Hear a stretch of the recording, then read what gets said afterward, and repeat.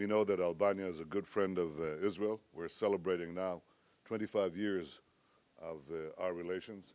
We know that the people of Albania uh, were, are not merely good friends today of the people of Israel, but in the crucial period of uh, the Holocaust, uh, they stood shoulder to shoulder with the people, uh, with the Jewish people persecuted in Europe.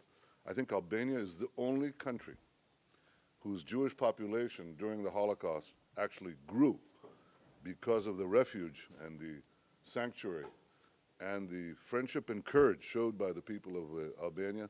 We never forget our friends.